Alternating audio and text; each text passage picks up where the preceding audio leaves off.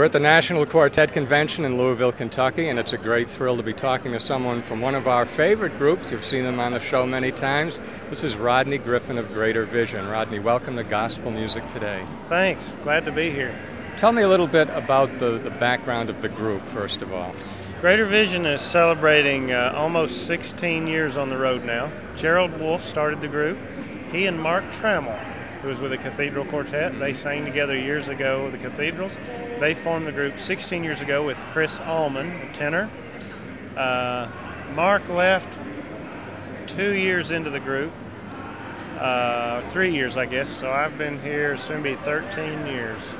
And it was me, Mark, and Chris. I'm sorry, me, Gerald, and Chris for a couple years, and then Jason Waldrop, our Indian tenor boy, came when he was 17 years old, right out of high school, and he's been here almost 11 years. So we've not had many changes, and we're just enjoying being together. how did Jason wind up in the group at such a young age? Yeah, Jason went to the Steve Hurst School of Music there in Nashville, Tennessee one summer. And as he was uh, getting to know Steve and the folks who were helping him with singing back then, uh, he was looking for, came to convention 11 years ago looking for a group to sing with. And just like we're standing here in our booth this year, we were standing here 11 years ago in our booth.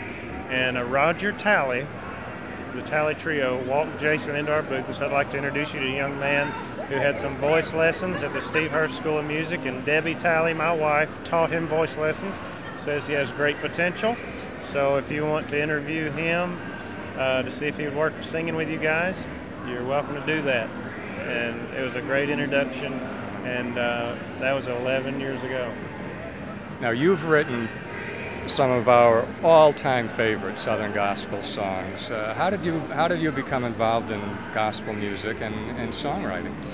I grew up uh, in a Christian home after my dad became a Christian uh, when I was young boy, and we sang in church. My family sang in church. I always had a love for this kind of music my uh, folks used to take me to hear the Kingsmen and Cathedrals every year when they would come through, and the Happy Goodmans. And uh, then as I went on to high school, I would, when I could drive, I would go see. Uh, we had the Hinsons would come to our town, the Kings Boys, the Kingsmen, uh, the Cathedrals.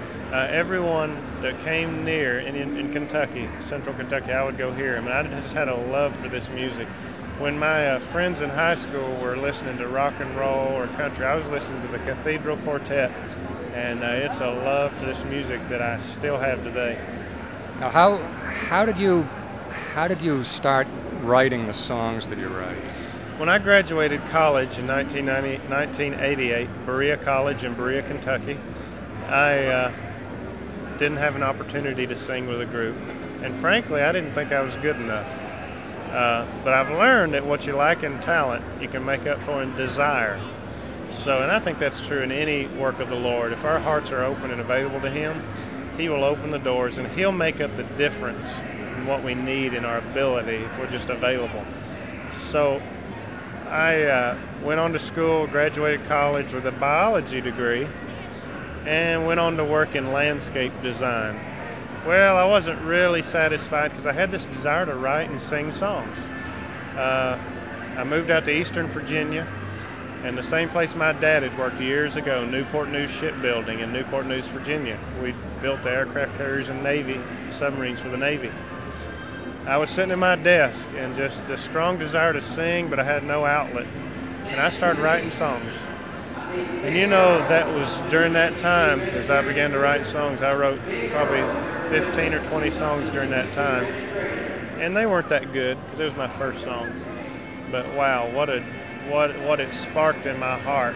And then as I began to to get an opportunity to get out and sing and sing these songs I began to write, that was a 17 years ago and I'm still enjoying writing more than now than ever. We enjoy those songs. What's uh, what's coming up new for Greater Vision?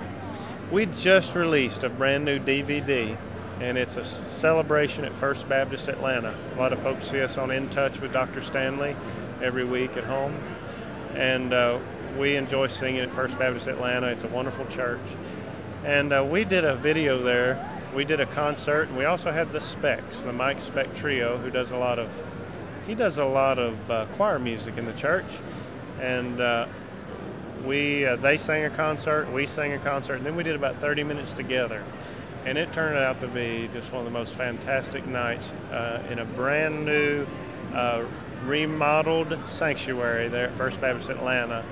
Turned out fantastic, and that's our latest our latest uh, project, and we're really excited about this DVD. Excellent. Rodney, thank you very much for being on Gospel Music today. It's been a pleasure to talk to you. My pleasure. Thank you. Now back to more great Southern gospel music on Gospel Music Today.